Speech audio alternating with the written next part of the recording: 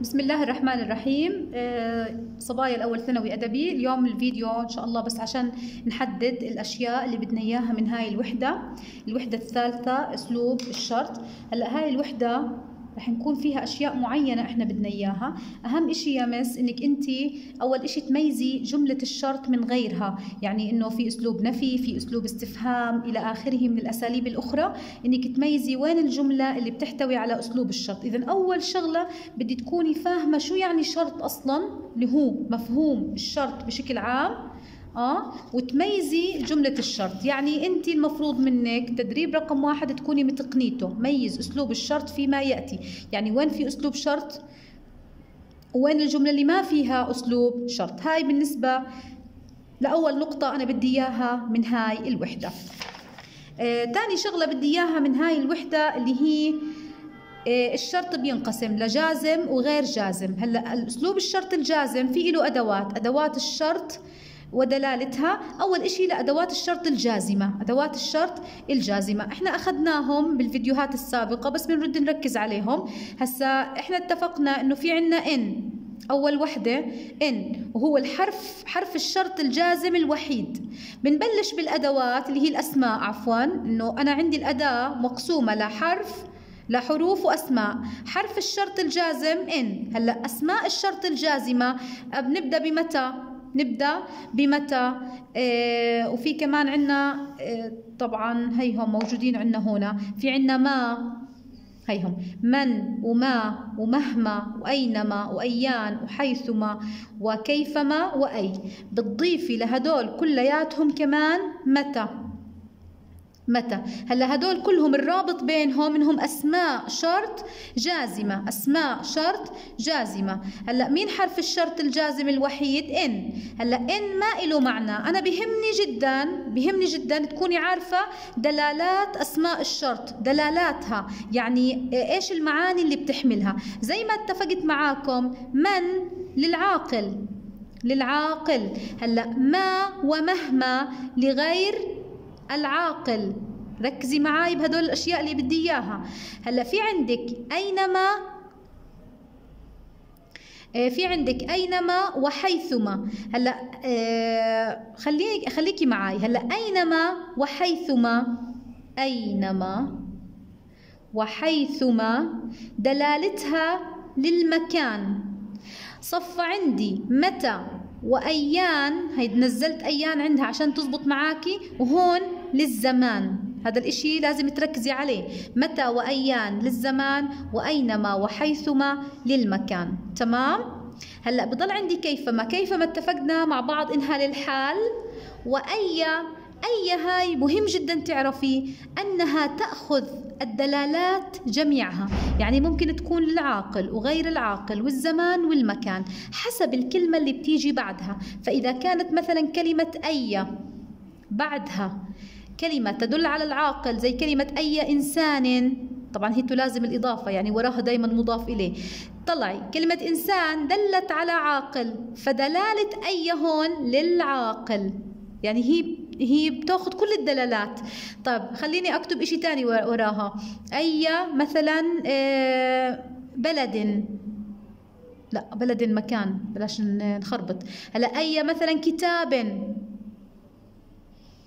تمام؟ هلا كلمة كتاب شو دلالة العامة لكلمة كتاب؟ غير عاقل معناته أي بدها تكون لغير العاقل.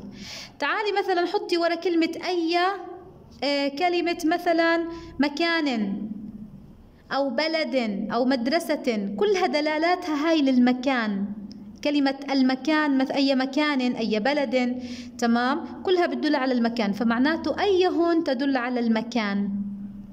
طب إذا ضفت وراها كلمة بتدل على الزمان زي كلمة مثلا أي وقت. أي زمان. تمام؟ شو دلالتها هون؟ بتدل على الزمان. معناته أي هون دلالتها على الزمان. معنى ذلك إنه كلمة أي هي اسم شرط جازم تأخذ. الدلالة حسب الكلمة التي تليها فإذا كان ما بعدها دل على عاقل فهي تكون معناها أنها للعاقل وإذا وما بعدها غير عاقل فهي لغير العاقل وإذا تلاها ما يدل على المكان أو الزمان فهي إما أن تدل على المكان أو الزمان. طبعا وما تنسوا موضوع أنه تتحقق الشرط الموجود عندي. مثلا هنا أي إنسان يجتهد يتقدم. هلأ النتيجة التقدم بس لازم كم شو يعمل؟ يجتهد. معناته في عندي فعل شرط وفي عندي جواب شرط.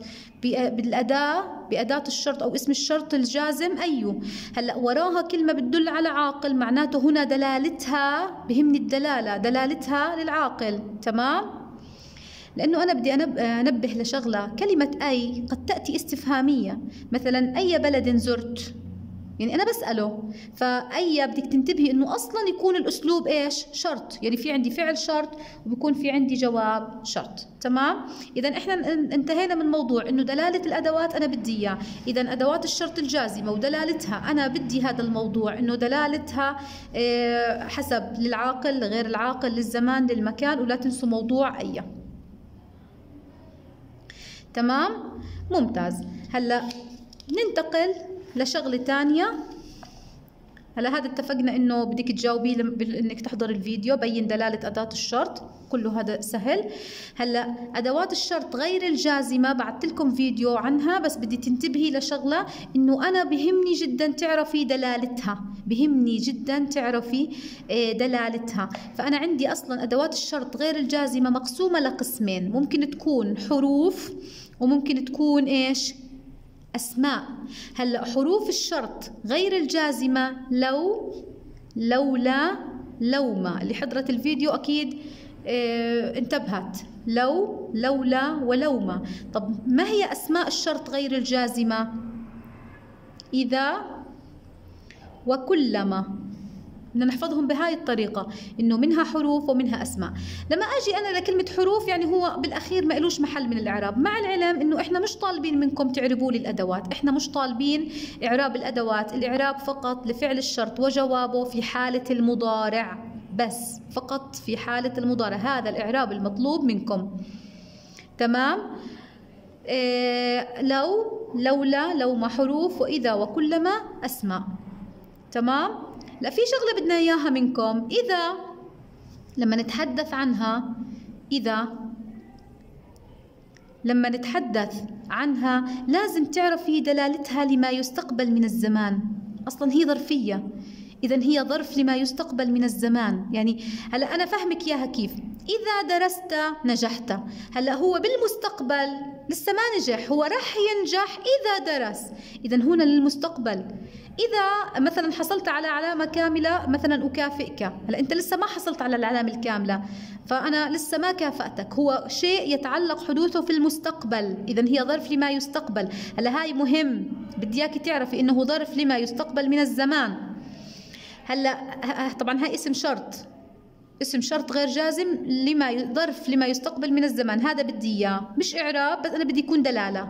طب كلما هلا كلما هي اسم شرط برضه هي اسم شرط آخر تمام؟ يفيد التكرار. يفيد التكرار.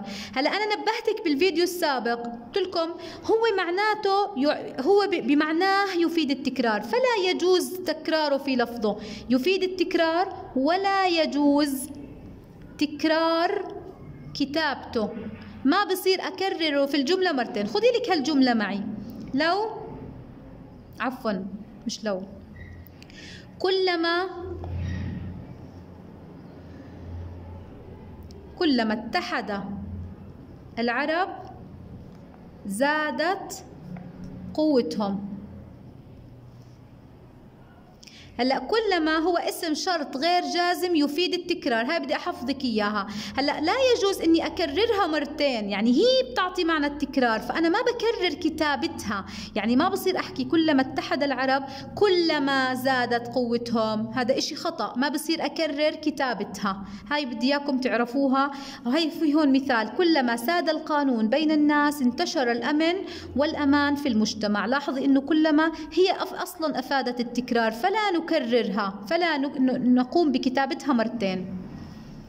طبعا ما تنسي إنه لو ولولا ولو ما هدول ثلاث حروف شرط غير جازمة. هلأ لو حكينا هي امتناع الامتناع هي امتناع الجواب لامتناع الشرط. لو تدرب الفريق جيدا لحقق الفوز. هلا هو لم يحقق الفوز لأنه لم يتدرب؟ إذا امتنع الجواب لأن الشرط نفسه ممتنع أو لم يحدث. هاي لو تفيد امتناع الامتناع. بينما لولا ولو ما هم التنتين نفس الإشي يعني نفس يعني اللي بنطبق على لولا بنطبق على لوما فهم امتناع لوجود خلينا نشوف كيف. لولا الأمن لانتشرت الجرائم وعم الفساد. هلا هل انتشرت الجرائم وعم الفساد؟ لا. إذا امتنع حدوث الجواب. طب لما امتنع حدوث الجواب هون ليش؟ بسبب وجود فعل الشرط. بسبب وجود الشرط. إنه أنا ما انتشرت الجرائم بسبب وجود الأمن. إيه، أنا ما ساد التكبر بسبب وجود التواضع. بس حكينا شغلة لما نيجي على صعيد التحديد حدد عناصر الشرط. أنا ما بدي إياكم تعربوا هون بس بدنا نحدد عناصر الشرط. لو ولولا ولو ما وحتى كلما وإذا هي أدوات بنسميها أداة. يا اسم يا حرف. إذا هنا لو ولولا ولو ما هي أدوات الشرط وين فعل الشرط؟ هلأ بلو تحديد فعل الشرط سهل بيكون الفعل اللي وراها عادي مباشرة هي فعل. الشرط وجواب الشرط دائما فيه لام فهاي دلالة مفتاح حل. فهون إحنا عندي هاي اللام واقعة. في جواب الشرط وجوبا. وجوبا يعني إشي خاص في لو ولولا ولو ما هدول الثلاث لازم الجواب يجي معاهم اللام يعني هو زي بيساعدك بالحل إنك تستخرج جواب الشرط. حلو؟ آه تحديد عناصر الشرط بلو كتير سهل. لو هي الأداة تدرب فعل الشرط ولحقق جواب الشرط. هلأ لولا ولو ما تحديد فعل الشرط بده منك شوية انتباه. دائما بيجي ورا لولا ولو ما بيجي وراهم إيش؟ اسم مرفوع. هذا الاسم المرفوع بيكون مبتدأ. هو اسمه ها يعني التواضع والأمن مبتدأ. تمام؟ لخبر محذوف. بنقدره موجود يعني دائما وابدا. يعني كأني بحكي لك لولا ولو ما فعل الشرط لإلها جملة اسمية مس. هذا إشي خاص فيها. ما في ولا أداة بتشبهها. فعل الشرط هون جملة اسمية. طب كيف جملة اسمية وأنا عندي بس كلمة؟ ماشي الحال. هلأ هاي كلمة مبتدأ وأنت بتقدري الخبر اللي هي موجود وبتصفي عندك كلمة جملة كاملة. مثلا هون الجملة الأمن موجود.